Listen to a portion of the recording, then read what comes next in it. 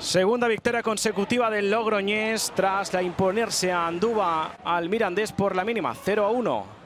Avisando primero el equipo Jabato con este disparo de Cristo, salvando bajo palo Roberto Santamaría. Intervención en esta ocasión de Raúl Izoain. Protagonismo para los dos porteros durante el encuentro. Ahí salvando el remate de cabeza de Pablo Bobadilla. Imágenes ya del segundo tiempo. Remate de cabeza de Andy Ibri entre el Lizoán y el larguero se aliaron para evitar el tanto del Logroñés.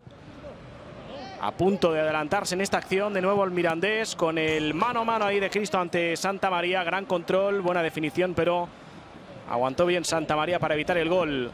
Ojo ahí con la jugada individual de Paulino de la Fuente. Lo hizo todo para servirle en bandeja el tanto para Oraechea. Minuto 65 se adelantaba el Logroñés. Ojo con la jugada individual de Paulino de la Fuente. Ola Echea que marcaba el gol que sería el de la victoria. Estuvo incluso a punto de marcar más goles el Logroñés, como por ejemplo en esta acción.